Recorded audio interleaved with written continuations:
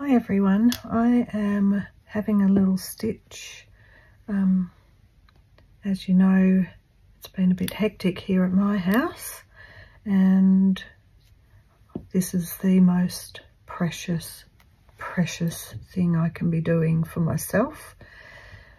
Um, I think today we all got a bit frazzled and tired and Nora's very sick and so now, now it is really the home stretch with the moving. a couple more kitchen things and stuff to come and then during the week we'll do all the big furniture stuff into some storage.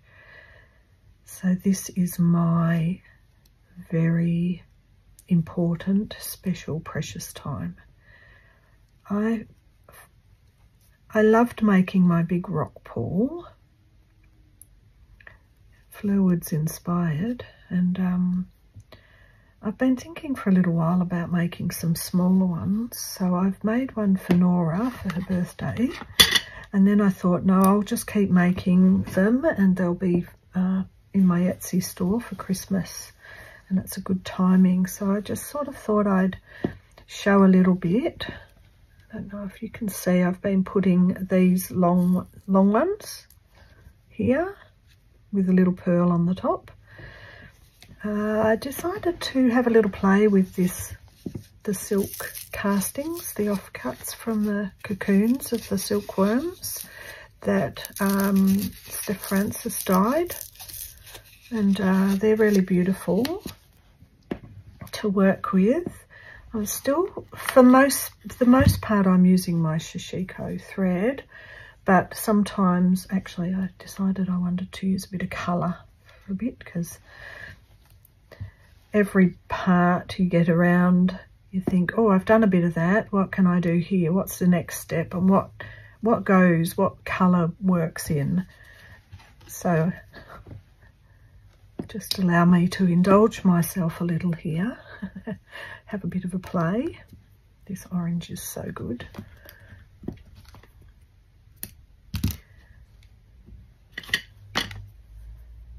Hope everyone's doing well and being creative. And when I say this is precious time, it really is at the moment. Really very happy to happy to have this time. I think I was a bit grumpy today. I'd only had about three hours sleep and was up and at 'em again. So let's just allow ourselves to have this time now for what we need for ourselves. That's the way I see it. I don't have a plan with these. They're very spontaneous.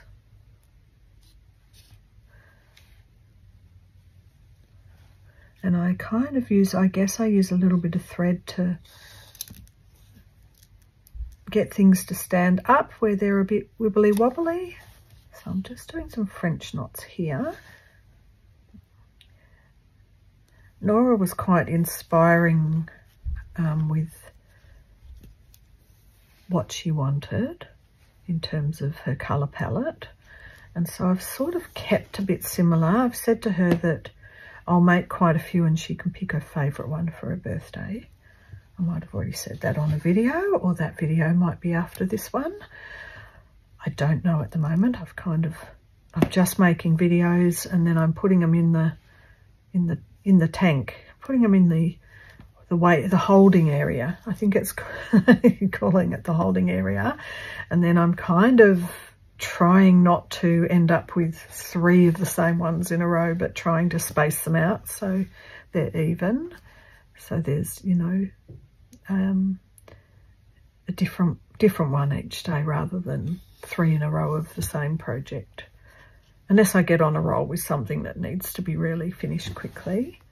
But it works quite well with, um, you know, the Roxy's Journal of Stitchery fits in quite well with it that you just have to do that once a week. Okay, I don't want to do too much of this because that's very similar over here. This is just a straight orange, whereas this here I use the uh, this beautiful, the summer variegated thread, and I love that. Um, I don't think I want to put a bit more of this in there. This piece is a bit more chunky than the last one.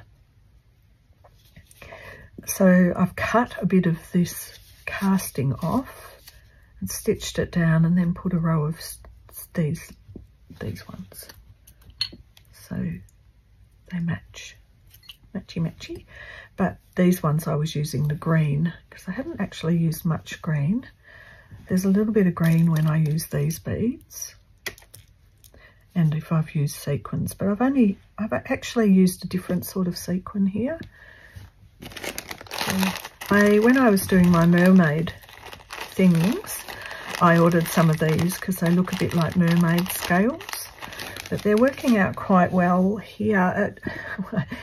I had a laugh because I thought, oh, that looks like a back of a prawn or a shrimp. And I thought, I'm going to be hungry every time I see that. this was off a beautiful bracelet, this um, abalone or um, some form of a polished shell. It's beautiful. And there's all sorts of different beads, pearls, beads, and little fluffy bits, and these luminous. I, I don't know where, where these are from, but this is the colour. Nora was saying, have you got anything fluorescent? So she likes these. I don't know if this she'll like this one. However, uh, this is the other one that I kind of, I made this one with her in mind because she really loves that, this sort of a thing. Because it looks like, because she, she's got her diving license. And so she went to the Great Barrier Reef and that's the sort of thing she loves. The rock pools and the very fluorescent colours under the water. And I put a shell on there. But like I say, I'm going to make quite a few. She can choose her birthday present. And one thing I noticed when I started this, it was quite flat down. I've got the bullion knots in the variegated as well. Um, but the interesting thing about making these is you just get in your own creative space and your own creative role with it. And you know, I did this area and then I did put this on and went, oh, that's so big and chunky next to this little area. But now as I've gone round, that's actually not as tall as this. So it's, it's, it's really a beautiful little journey. I'm really quite enjoying it.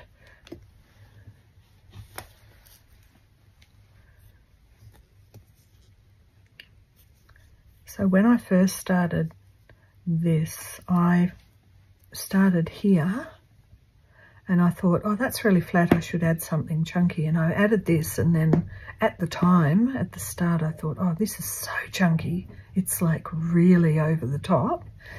But then as I progressed and enjoyed myself and came up with new little ideas as I went around, I just really thought now it's a, it's just a lovely feature.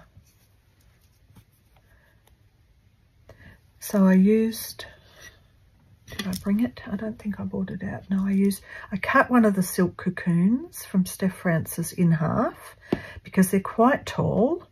And I didn't want it up this high because I'm still not sure if they're just going to be, well, I have a picture of them being rock pools, but keeping this background and putting it into frames, but the deeper frames, you know, with the the deep frame, not not just a, a, a photo frame, but a, a, actual picture frame. So I'm going, I looked today and I couldn't find any in Kmart, so I'll have to source some. Got a huge shelf with lots of canvases on, but I don't think there's any of what I'm talking about up there.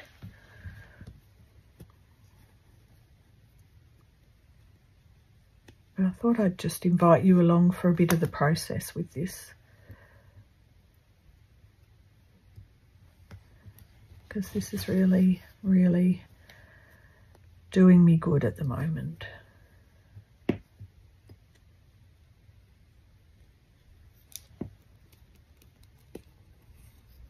think we can get one more in. Maybe a little baby one.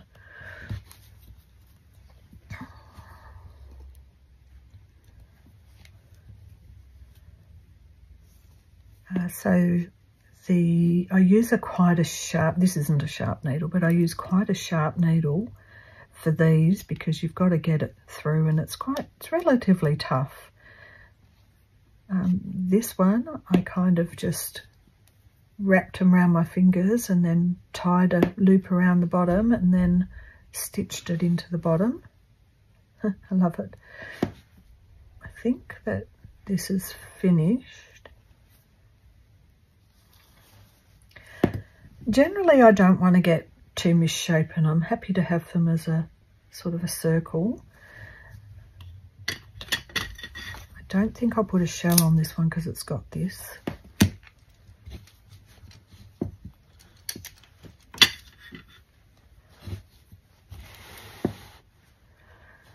But I will stuff something under them as well. So that's two ready to start number three. Okay, so this is the blue wool I was using inside the crocheted, um, the mohair bag as a lining. I think I showed that one. Um, this was my original rock pool. This had some memories through it of pick glass I've picked, you know, the really worn down glass I've picked up on beaches. And it's a lot bigger so there's quite a few wraps and things like that, nets. Um, but this, this is a project where I move on from that and see how to make smaller versions. So let's start a new one. Maybe I'll make a really tiny one. It's good to use up your scraps.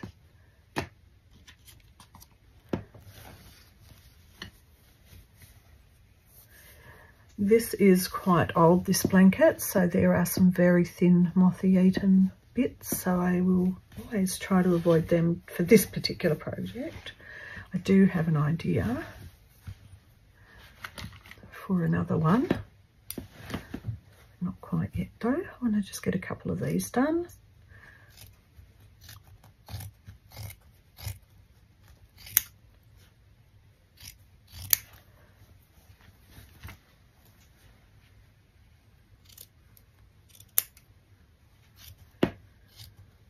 Well, I tell you what, when life is a little extreme, it really, really is a joy to just hang out here.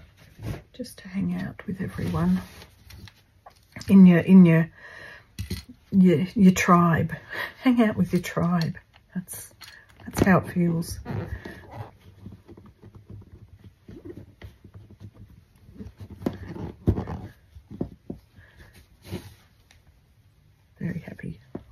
So I haven't been having a specific idea at the start of each one. I think when I was doing this first one, I was very much thinking about what Nora wanted and what she liked. And I always feel this is the one she'll probably end up choosing because it relates to her.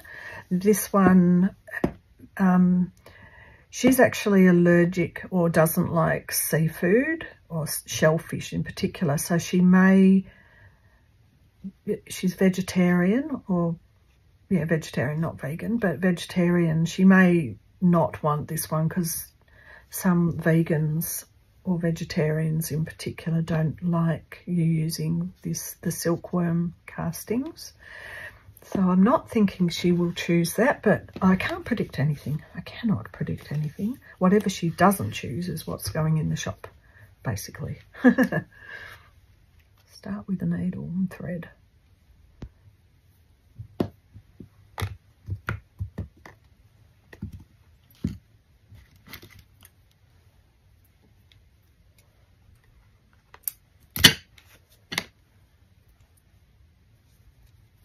I think on my big one, I used quite a lot of shells from my collection. The first one I used a shell, so I might, um, let me have a look.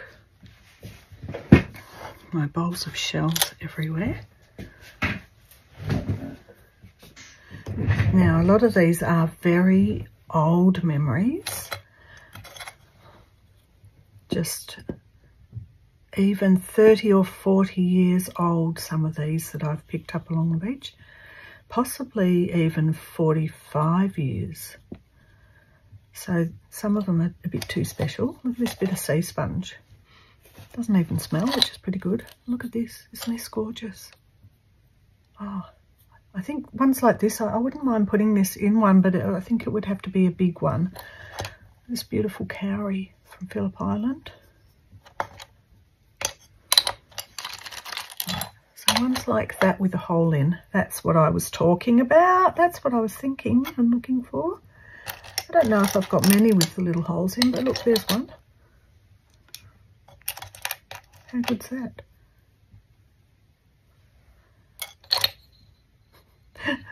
a badge that Liz made. Special. oh. Right, that's got a little tiny weeny hole in it. Yes, a lot of these are too too big for this particular project, but that's okay. No, no hole. Oh, look at that. That's definitely for a big one Just beautiful. Although, oh, that's just gorgeous. Oh, we should do a Venus de Milo one. All right, I'll probably sit here and look through these shells for ages, so I better put them aside. And look at these ones. How precious. Look at that. So, so delicate. Oh, that has to go on one. That's just so special.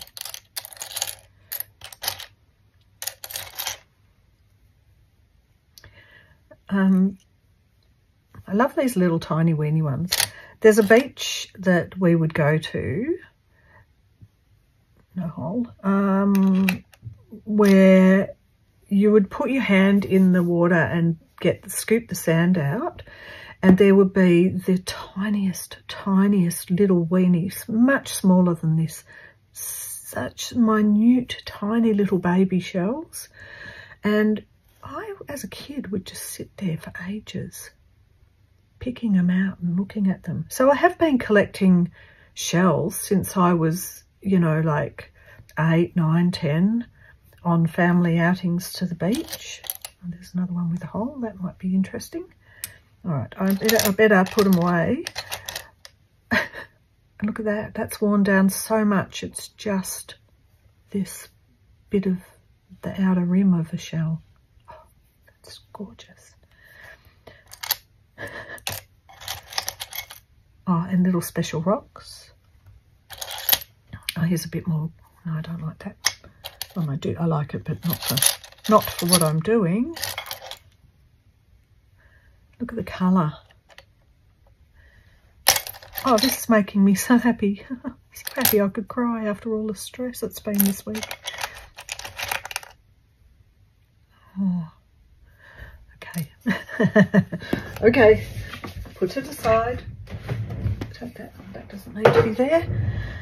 Okay, I've got a few things. So let's just start with the shell.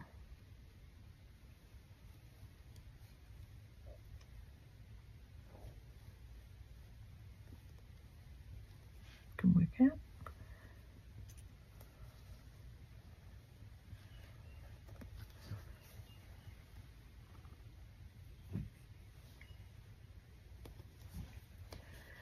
And build up from there. Now see, now that it's standing up, it's a little bit mushroom-like. So if I can get things around it to help it stand up, to support it, it'll give a lovely effect.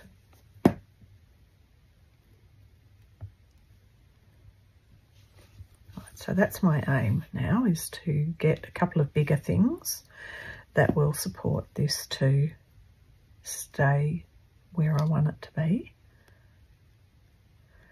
So that can take a little bit of time. It's not an immediate thing. Um, let's see. Maybe we'll have a slightly more greeny one this time. So I might do try a bit of the lighter green.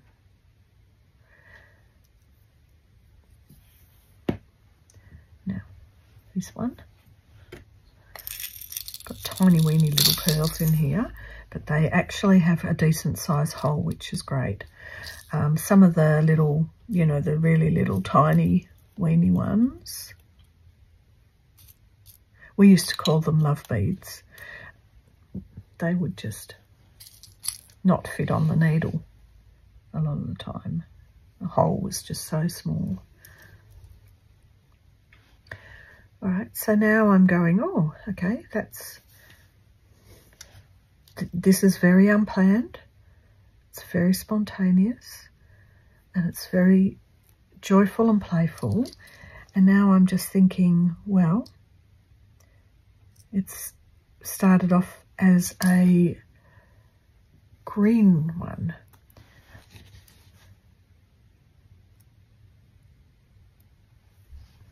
As compared to the other two thinking about, you know, very vibrant underwater world. This might be a little bit more sedate. I don't want to predict it because, you know, when, when I when I started this one and it was low and to the ground and I saw that and just threw it on and shocked myself because I thought, oh, did I, do I have to take that off if I made a big mistake? But then I worked around it and I worked around here and I put that on and all it all worked. It came into play and it worked. So I, I have no idea with this one. I can't even say, oh yes, I'm going to make this an all green one because somewhere in the middle I'll probably shock myself and put on something bright. and that's okay. That's, that's what the fun of it is. Now I'm just going to do a little extra stitch or two just to really secure those ones down so I don't get them caught or if the if this thread breaks they don't come all loose.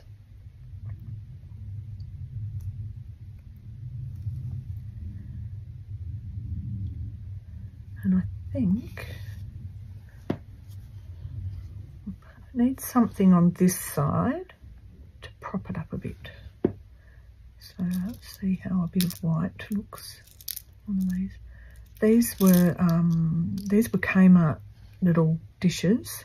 When I was doing my mermaid thing, I managed to grab a couple of them and they were in really good undersea mermaidy kind of colours.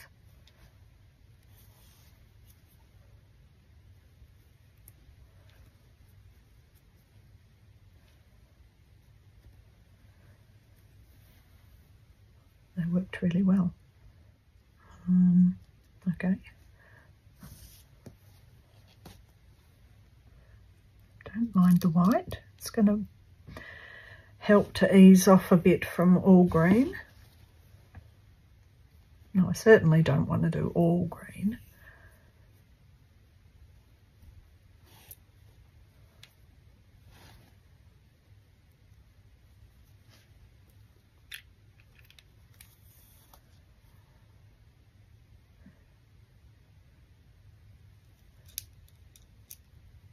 feel like I'm just listening to the muse because the muse just said, look at that yellow there. okay, I saw it. For the most part at the moment, I'm thinking I'm, I'm focusing on just making sure I can get that shell supported to be upright. Now, I don't always start from the middle and work out. This one I started here on the side with the bullion knots and then worked out and round this one I started with this circle that I'd already made and then filled the centre and then filled around the outside. So this kind of went not perfectly in the centre but off to the side a bit. So there's no plan, no plan about it. It's just relaxing and enjoying it. Oh, that yellow, it's just like sitting there staring at me. Pick me, pick me. Crazy artist brain.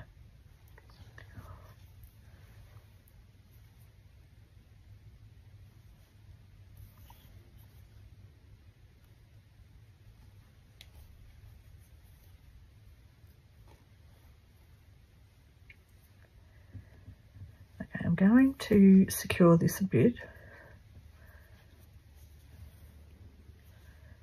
before casting off just to make sure those beads are very secure there. Oh, I can't tell you what a relief it is to just be sitting there having a stitch. It's quite stressful. I didn't realise, it, has been, um, oh, three years? No, yes, three years since Lily's been at home. And of course, there's going to be a period of adjustment, I think, with, uh, you know, she's been out in shared houses and so she's really grown up. So there's definitely a very happy vibe, you know, because mums always want, want to have fun with their daughters. Okay, now that's sort of coming under those little, these are going under here. So these are the little problems that come up as we're, as we're working. Little things happen that, you know, allow us to add a new thought, try a new thing.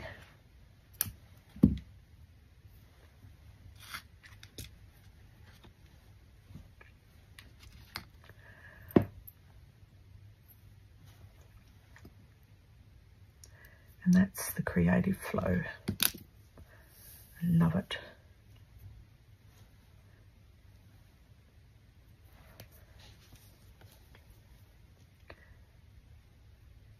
I know this yellow just was speaking to me, but I don't know what it wanted me to do. So I'm just going to start with a French knot right in there. Because I think those sequins might need a bit of... Oh, well, that's a I'm leaving that. That's a happy accident. That's my, oh my goodness, what a terrible French knot. Oh, happy accident. Oh no, no, it, I should have just left it. But I wanted the end to come out. oh well, but that was good, wasn't it? Maybe that's how, I probably won't be able to recreate that, but I do actually like to have my end out so as I can make it last a bit longer, the thread.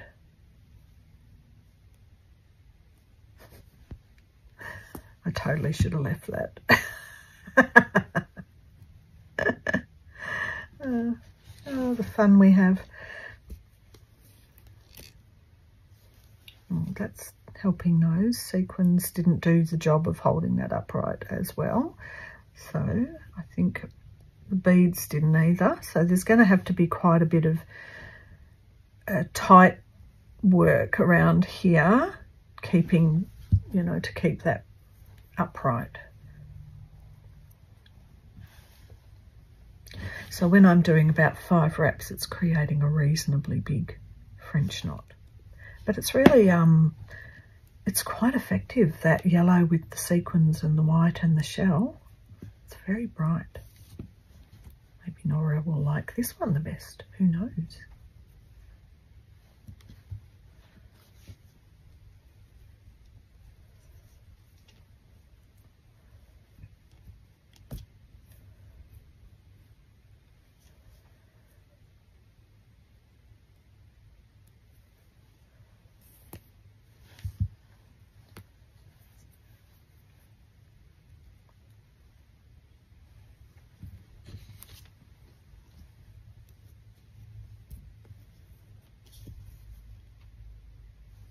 All right, that one's really stuck, so I am going to allow that to be. No, don't like it. No, nope. It's because the end's got a bit ratty-tatty there. Oh, nope, it's really stuck.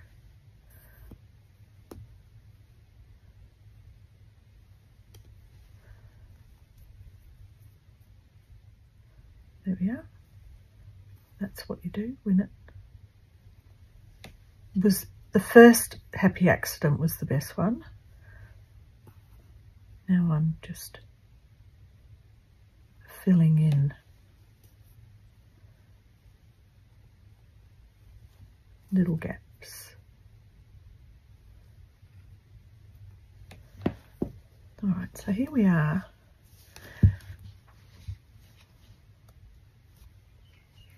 very much enjoy the moment.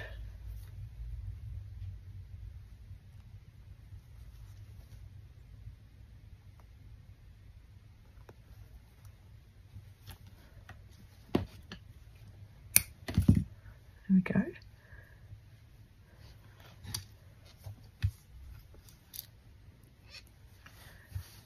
And work from there. Is this one going to go on? I wonder if this is it's actually, I was thinking it looks so fragile. Maybe I can put a pin through it, but it's actually, it's really hard. But, oh, isn't it beautiful?